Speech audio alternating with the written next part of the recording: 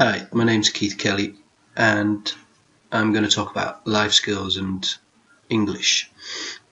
Um, you can see my email address if there are any questions afterwards. Don't hesitate to get in touch. I was asked by Jordan Stoyanov, uh, who's the Macmillan rep for Bulgaria, to prepare this presentation workshop on life skills in English alongside a Macmillan course book called Open Mind. Uh, and I got really quite excited about the idea of looking at how to develop a curriculum for uh, skills and competencies useful for life beyond school. And at the same time, uh, offering a context for learning the English language. So that's really what we're going to talk about here and um, it's particularly relevant in the European context where you can see uh, wide extremes in youth unemployment. So we'll, we'll contextualize this in the European workplace. We'll look at what the EU uh, is suggesting young people need to have in terms of skills when they leave school and we'll look at what that means for learning languages and learning communication skills. There's a bridge there to classroom practice because in a way we need to look at what it means for how things should change in a classroom to accommodate life skills in a language learning program. And here we'll touch on um, cultural communication and what it means to have skills for communicating between cultures. I'll offer a model for communication in the classroom, science across the world, and we'll we'll finish by um, covering some ideas for following up, so teachers can uh, can take it a little further and, and create their own contacts between schools and colleagues in other schools. And I'll offer some places where you might look to do that. Let's start with the European context. This slide is really quite interesting because it shows from November 2013 unemployment rates for young people. Uh, and if you look at Spain with um, pushing 60% youth unemployment in November 2013, uh, and compare that with a country like Austria, which still isn't over the 10% unemployment mark in the same period. Uh, Bulgaria, we can see there, is pushing 30% according to uh, official figures. So what's happening in Spain? Young people uh, are lacking opportunity in, in, the workplace, and what sort of skills can they develop to help them become more employable and more mobile is a very important question for teachers. Look, a closer look at Austrian data found this uh, in order to show it to a group of Austrian teachers I was working with and compare that with other countries in Europe. This is up to January 2014. Shows youth unemployment has just sne sneaked over 10% mark, but it's still pretty good, you know, on a European scale. Young Austrians have got a lot more opportunities open to them than many other young people in Europe in the workplace.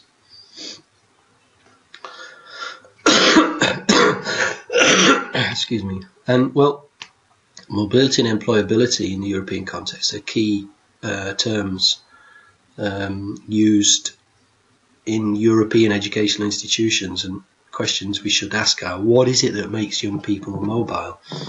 Well, one um, area to look at in answering that question is knowing languages, knowing foreign languages, and it's um, no secret that the Council of Europe wants young people to leave school with three community languages. And what makes young people employable? Well, this is an area that my colleague Dan um, gave me a lot of information that's very, very useful, very interesting, is the area of soft skills uh, as much as hard technical skills. Uh, so we'll have a look at that. What, what are these soft skills that um, employers say young people are lacking so much in uh, in their interviews, in their first arrival at a new uh, post in their companies. According to the Seattle Jobs Initiative 2013, in answer to the question, how important are soft skills to securing entry-level employment at your company, 60% of employers surveyed said that they are as important as technical skills, hard skills, skills you need to operate in a certain technical environment. Interestingly, more important than these technical skills, 17% of employers suggest that they're more important. So these soft skills, um, business and the workplace tell us, are essential for young people arriving for jobs. And what are these skills? Well, a slight pause for you to think about that. um, teachers frequently say um, negotiation skills, presentation skills, and in fact, the, a, a, lot of international organisations highlight uh, these skill areas for the purpose of encouraging educational systems to incorporate them and push them more strongly in the curriculum. Personal management, social skills. Functioning on an independent basis from the International Bureau of Education. The World Health Organization highlights psychosocial skills. um, and finally, we've got UNESCO highlights several skills critical thinking skills, problem solving skills, negotiation skills is there, being able to make independent decisions. The UK Commission for Employment and Skills report in 2014. If you look at all of these uh, skills, apart from the top one, they're a summary of these soft skills that companies say young people lack planning and organisation. And you can look at language specific skills like oral communication skills and written communication skills, you know, apart from foreign language skills. Team working skills and literacy skills are all related in, in a very clear way to what we do in the language classroom.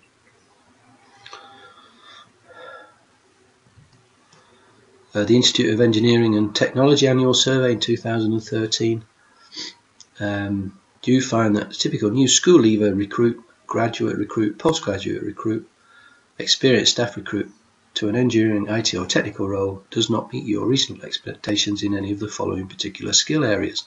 And if you look at uh, communication skills, for example, it suggests that graduates and school leavers 20% lack basic communication skills.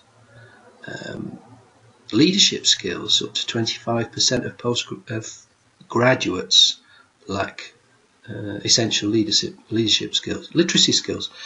School leavers, pushing 20% of school leavers lack necessary literacy skills.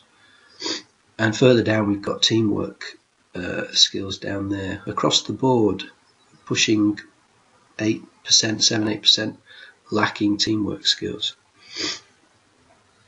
Now, what are the top 10 skills that employers say they want? A University of Kent study uh, of multiple surveys suggests these are the top 10 skills highlighted by employers.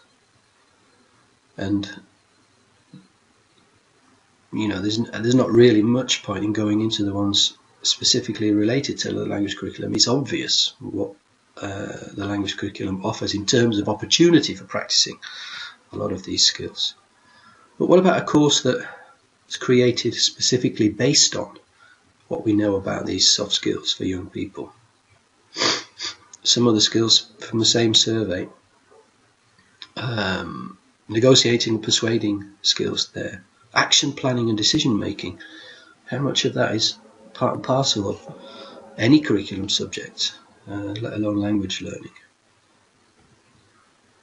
I wanted to show a model for intercultural communicative education I came across doing my own master's degree many years ago that I've uh, kept in mind when working with programs that get young people collaborating uh, across geographical borders and between languages. And here we've got two uh, example cultures, culture A and culture B. You might imagine uh, British culture and Bulgarian culture. And what this um, uh, this schema suggests is that in order to be a good communicator across cultures, in order to be interculturally, communicatively competent, you need to be able to do four things to be able to see culture, your own and the other, from these four perspectives. So A A suggests how that uh, let's say the British uh, individual needs to know how the British see their own culture. So how A views A.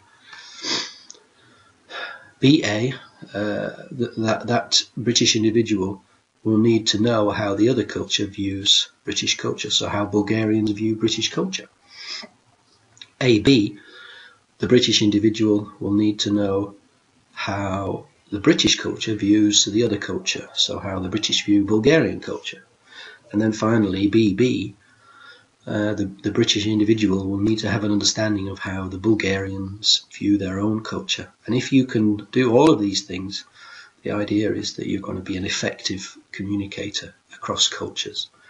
Now, it's a very interesting diagram because there are programs out there that take aspects of this diagram and try to put it in the classroom.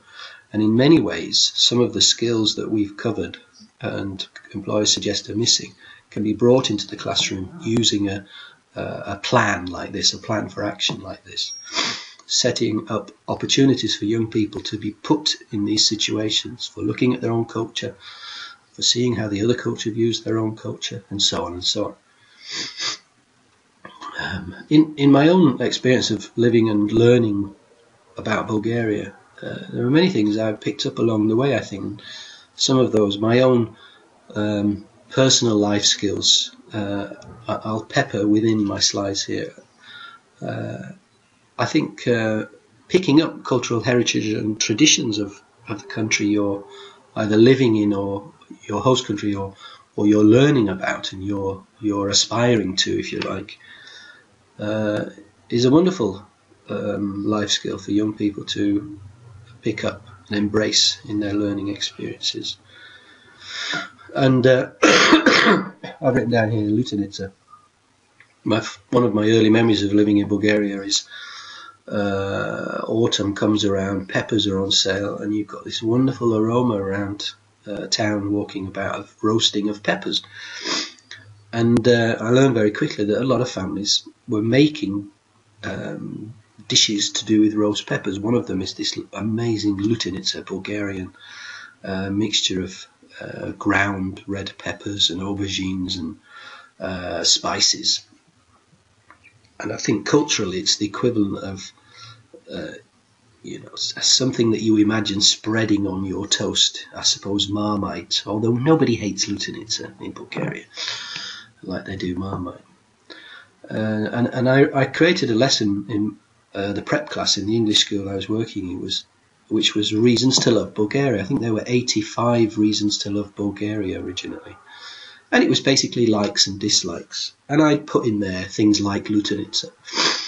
And um, living in London for a few years, my wife, Bulgarian, was practicing to become a doctor in the health service.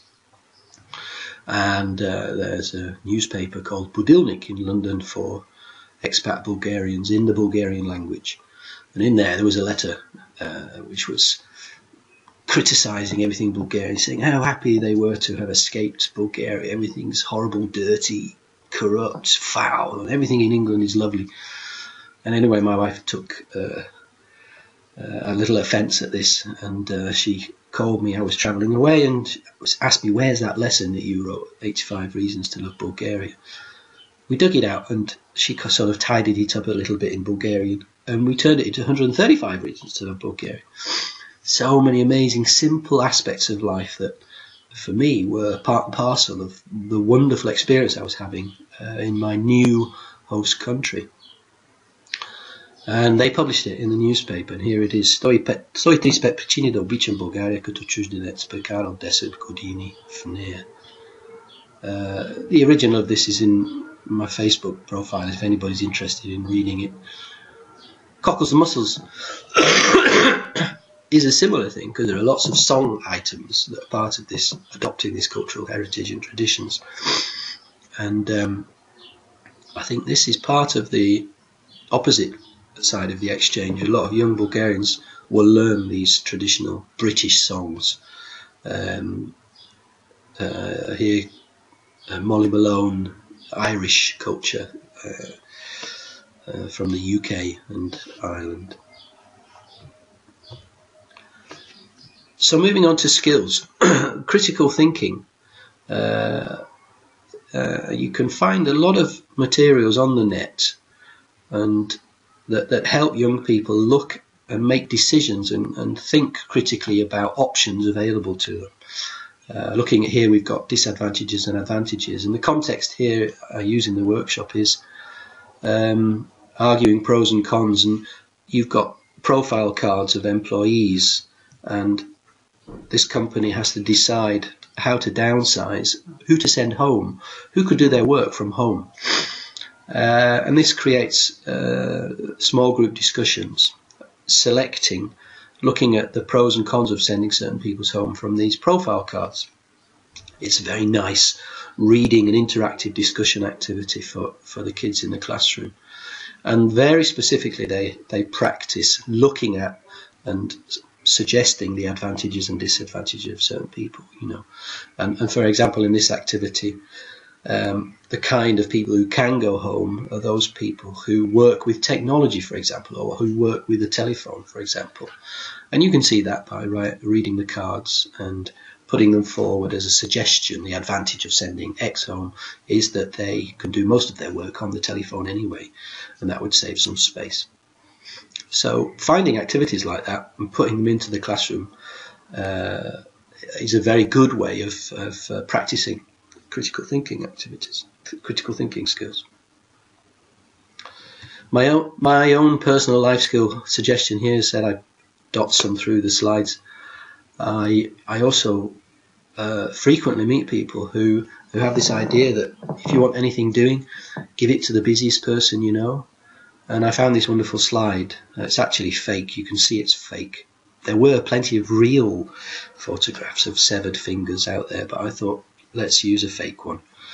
Um, and as speaking as a person whose whose life has become very busy recently with two young children, a, a, a wife who's uh, got a very busy job with night shifts and all sorts of uh, long days, writing a book, opening a school, life became incredibly busy all of a sudden. There's very little free time left at all. And, I, and it occurred to me that I was changing uh, as this was happening. I was becoming much more ruthless with the things I agreed to do when people asked me to do things. I certainly wasn't part of this first quotation. You know, if people asking me to do things because they know I'm busy, it's very likely that I'd say no, and I became more ruthless with my time. And I think the, the second quote is perhaps more true. But people in a rush shouldn't be given sharp knives to, to work with, expensive technology to, to use. I think actually, if you want something done, find the right person to do that job in whatever time it takes. Personal management skill. Uh, do it right, don't rush it, I think. And coming to the life skills list that we were looking at earlier, establishing priorities, solving problems. you can put this in a simple discussion context.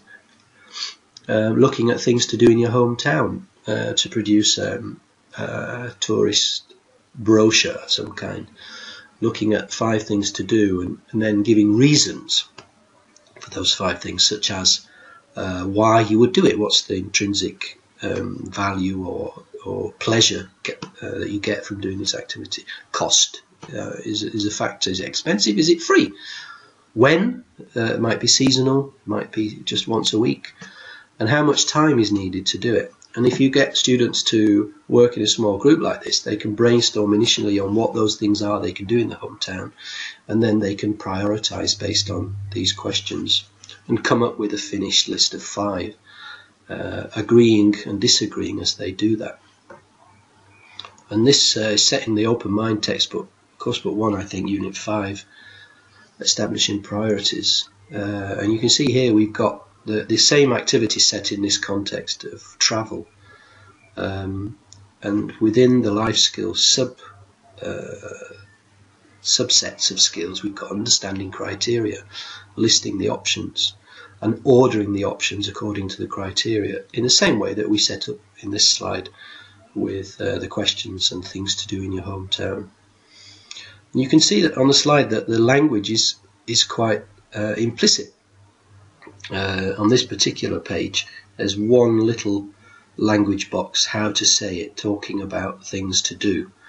And then we've got templates for writing. Uh, here we've got uh, um, some gap sentences with suggestions about things to do and the cost and the time it takes to do it.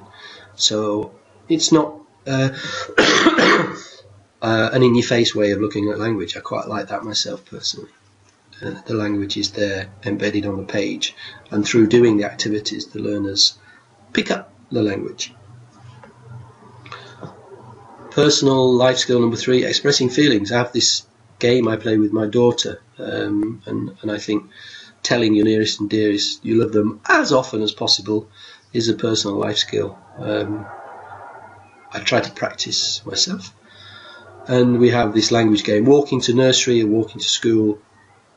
I think up something that uh, will get her thinking, and and we express our uh, feelings for each other at the same time. So if my love for you were chocolate cake, you'd be able to feed the planet for a year, and I get my daughter to do the same. And here you've got language within a psychosocial interpersonal um, context. To put that into the list of skills employers say young people need after school. Let's tell each other we love each other. Um, negotiation skills. Um, this relates to an activity I do in the workshop with the teachers that looks at um, astronauts being out in space and meeting aliens and uh, looking at what if and practicing a, a, piece of grammar within a context of uh, having to choose the right person for your needs. And this activity is taken from onestopenglish.com.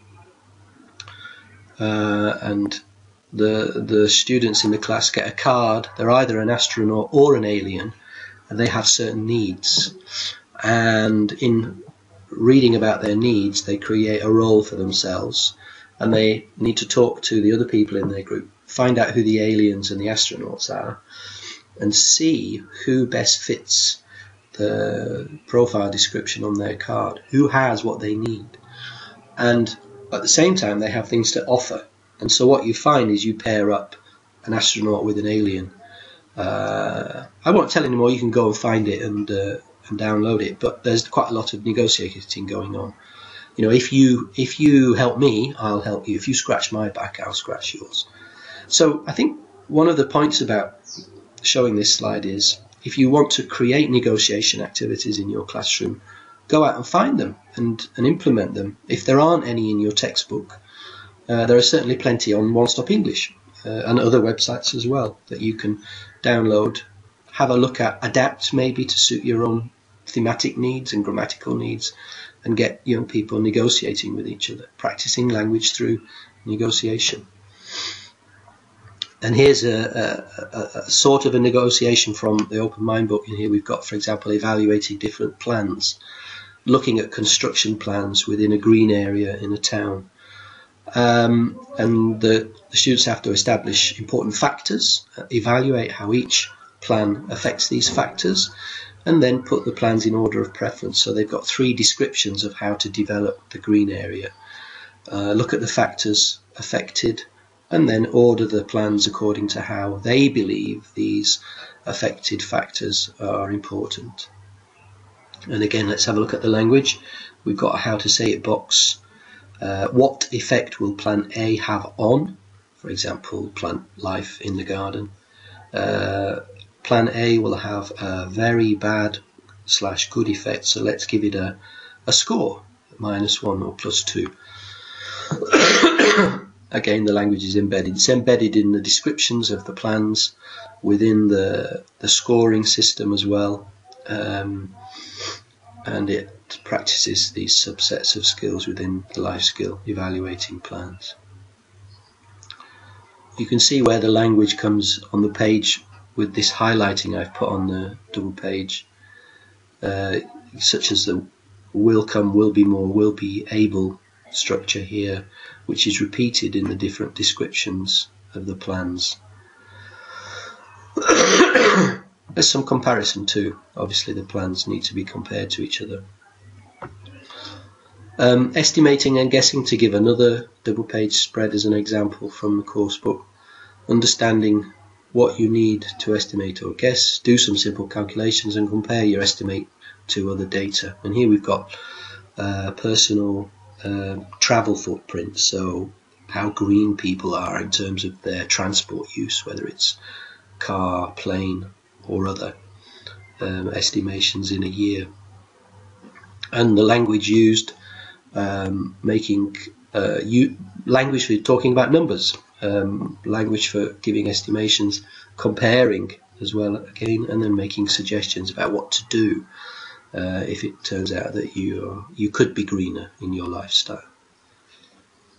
So the Open Mind course has kind of turned a general way of thinking about a language development kind of lexical grammatical progression onto its head to to look at skills progression and develop lexis and grammar through the skills, uh, which I quite like as well. It, it's time uh, young people had the opportunity to develop skills they need and not necessarily hope they appear in a in a lexical grammatical progression in a course book. Personal life skill number five, cultural awareness. Sing more songs together. I think classrooms should sing every day as much as possible. And one of my favourite Bulgarian songs is Hubava si Moya Goro, which I won't sing for you, but you can Google it and uh, sing along there. Now, I wanted to put this in a context in an educational program, uh, so I'm going to I'm going to mention Science Across the World, but I won't go through it. What you find in Science Across the World is uh, a collection of uh, study materials and exchange activities that produce the the cross-cultural competencies diagram, uh, A on A, B on A, um, a on B, B on B matrix that I mentioned earlier. It gets young people to look at their own lives in um, in many general science ways. It gets people to look at the lives of other people in other countries and make comparisons between lifestyle and behaviour in a way that that diagram suggests is a good way to develop intercultural communicators. So although this is about general science, I think it creates uh, a context for developing intercultural skills in young people. Um, I'll just mention what it is, and you can see the website. It's actually hosted by the Association for Science Education today. But if you type in scienceacross.org, you'll find it.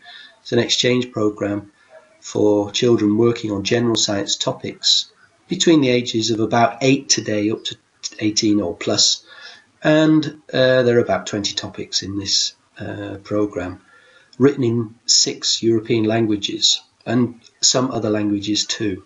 And one example you might want to have a look at is What Did You Eat? Number 13 on this list.